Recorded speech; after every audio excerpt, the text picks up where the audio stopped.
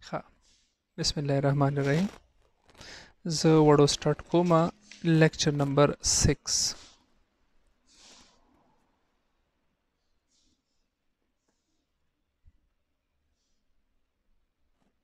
لیکچر نمبر 6 زه سٹارټ کوم لیکچر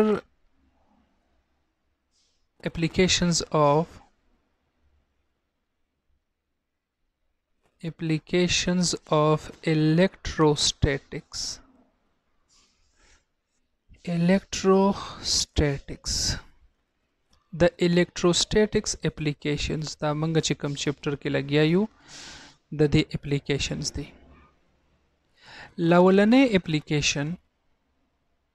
فرست نمبر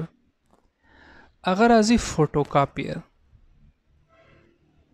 کوم ته چې موږ فوټو سټیټ ماشين وایو دیتا زیراکس هم وایي ښه زیراکس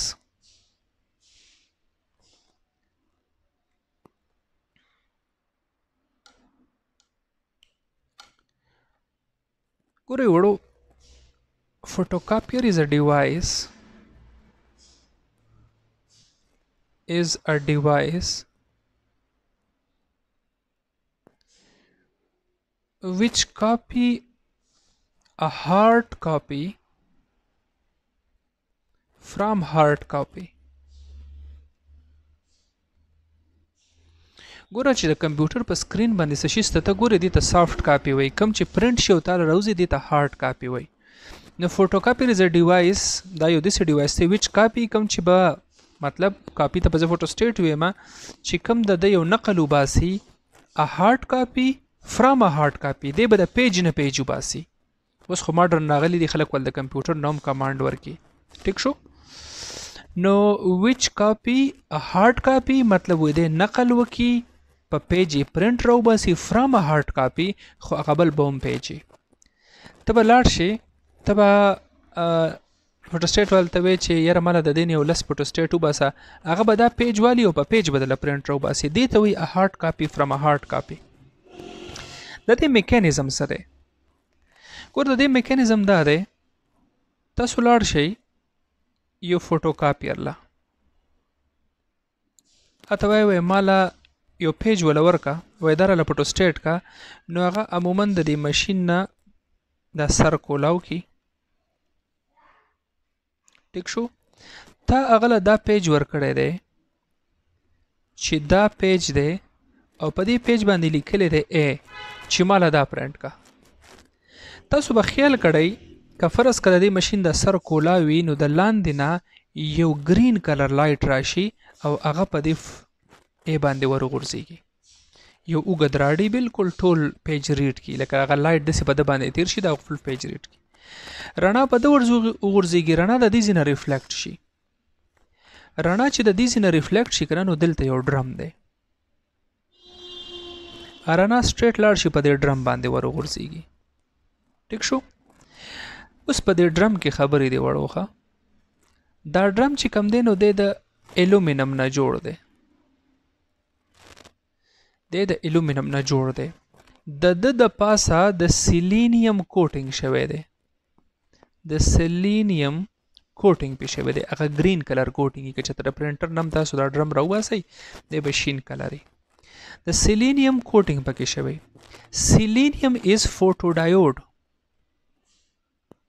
سیلینیم از سوري فوټو ډایوډ نه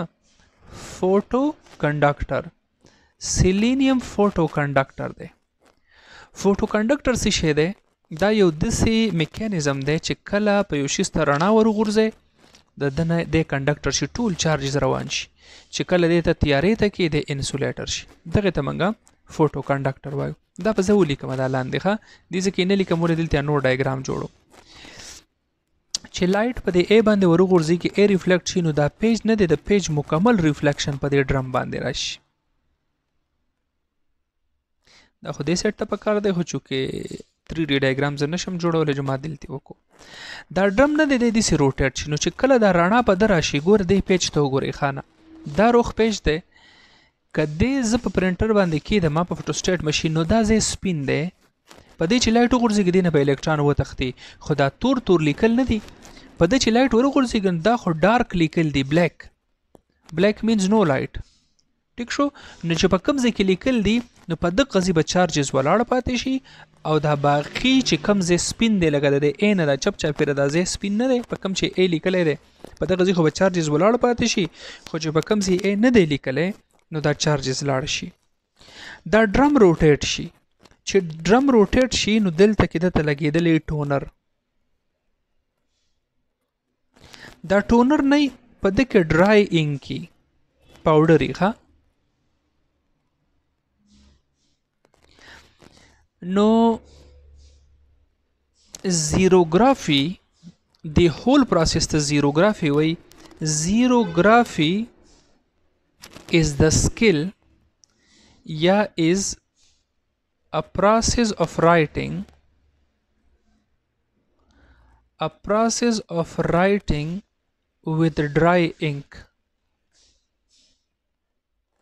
دا په خشک صحیح سر لیکه دي فوټوسټیټ ماشين کې پاوډر یې پوخا به پکې لیکوډ راته اوس پکې باقاعده پاوډر راځي نو چې دا ډرم کله روټیټ شي او دا ډرم دی زی لره ورسي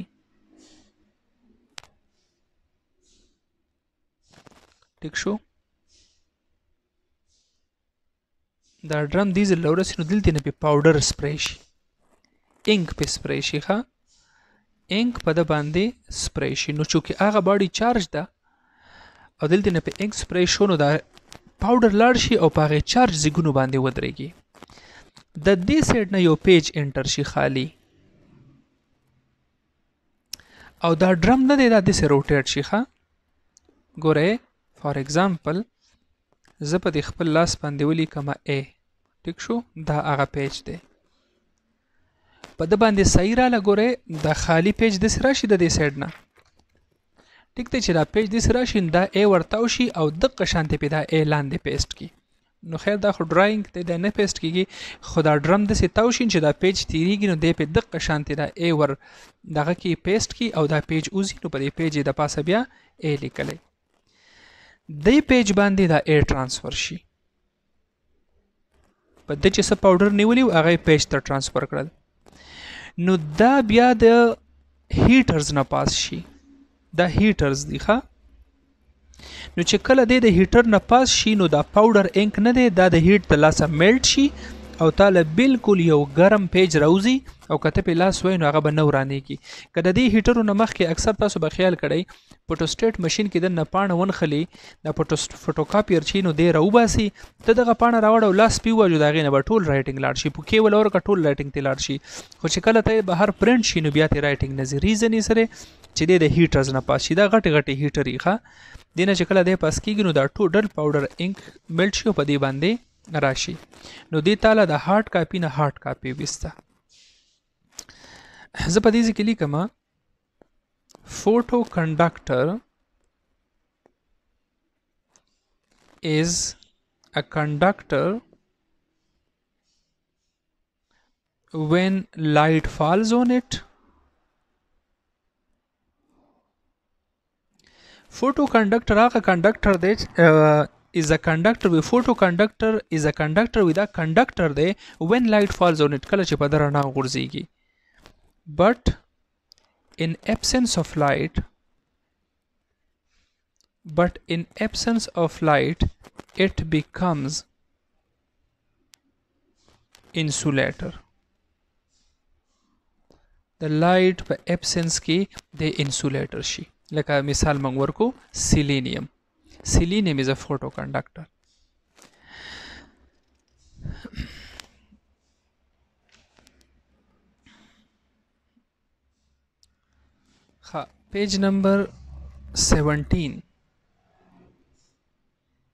پیج نمبر 70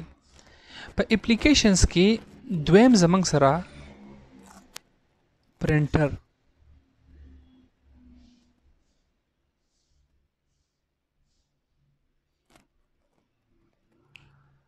پرنټر چې کوم دی هغه بالکل دا پروسس ته وړو څنګه چې ما دا لاست پیج کې ډیسکس کو پرینټر بالکل ایگزیکټلی دغه پروسس دی خو په هغه کې دا شیز نه یې دا شیز نه دلته یو لیزر لایټ لګیدلی هغه سیده ډرم هټ کوي وړوکی ډرمې فوټوسټیټ ماشین خو غټې پاکې غټ ډرمې عموما یو نارمل 1 انچ پایپ واخلئ دومره به دغه ډایمیټر یا پون انچ پایپ واخلئ دې ځکه لیزر لګېدلی تاسو کمپیوټر د سکرین نه کمانډ ورکوي نو هغه لیزر په دې ډرم باندې رایټینګ ولي اوس تاسو به چې سر لیزر په ډرم باندې څنګه رائټینګ ولي ملټي میډیا پروجیکټر خو لیدلې دی کنه په هغه کې دنه یو شارپ لیزر لایټ لګیدلې دا بیسیکلی ال ای ډي په دې کې دنه لیزر لګیدلې او که تاسو دیوال ته مخامخ کینو په دیوال دی ته بالکل هر یو رائټینګ هر یو ډایګرام جدا جدا خي نو دغه شانتي په فوټوسټیټ یا په پرینټر کې هم دنه دغه لایټ لګیدلې ده او دې ډایرک په دې ډرم باندې زه به دې ایکسپلین کوم دې ډایرک په دې ډرم باندې رائټینګ راولي رائټینګ باندې پاوډر سپری کیږي پیج راځي او د پرینټینګ کوي دا د سپیډ سیوای ګورې وړو په دې کیس کې په دې کیس کې صرف هارد کاپی نه پرینټر د سافت کاپی نه هارد کاپی وباسي زه به ولیکم printer is a device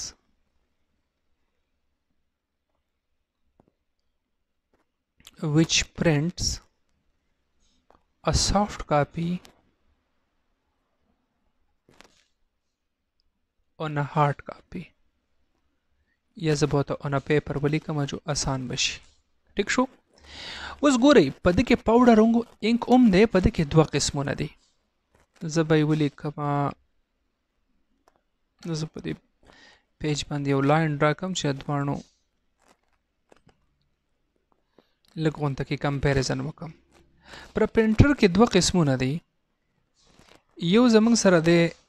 لیزر جټ پرینټرز او بل دی انک جټ پرینټرز دا د لیزر جیټ پرنټرز بل د انک جیټ پرنټرز ټیک شو دا دوه قسمونه په مارکیټ کې چلیږي لیزر جیټ لاولنې پراپرټي لیکم چې this printer works on dry ink کومه ته چې منګه پاوډر وایو په دې کې لیکم this printer works on liquid ink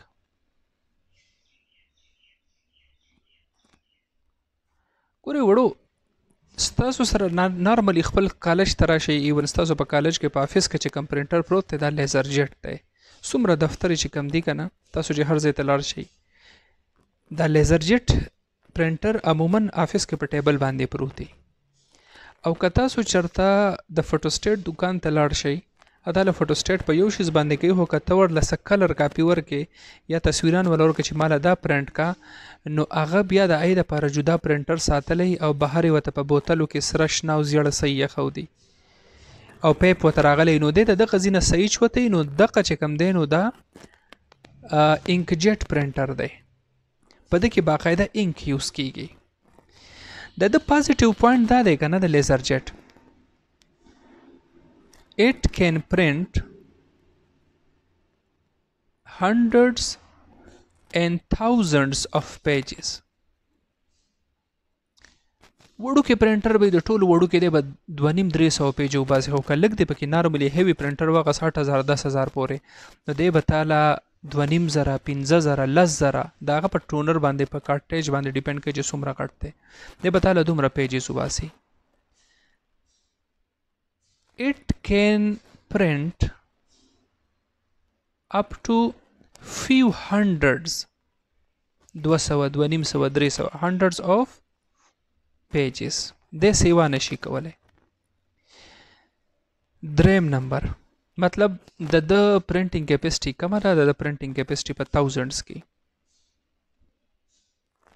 it is long lasting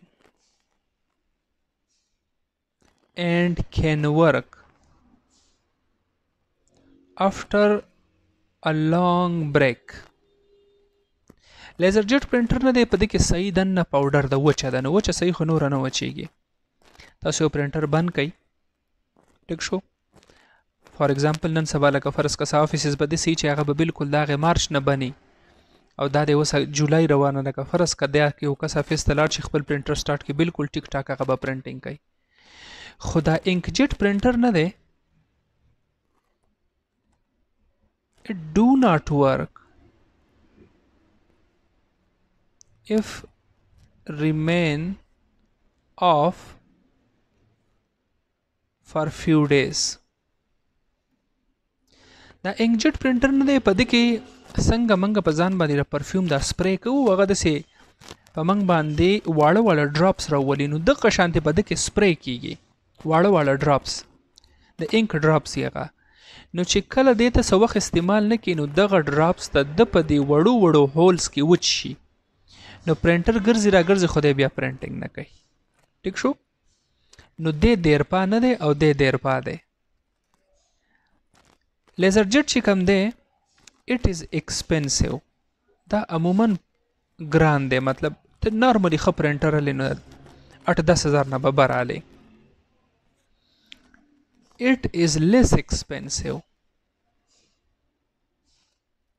دا چې کوم دی انک جټ پرنټر دا لیس ایکسپنسیو دی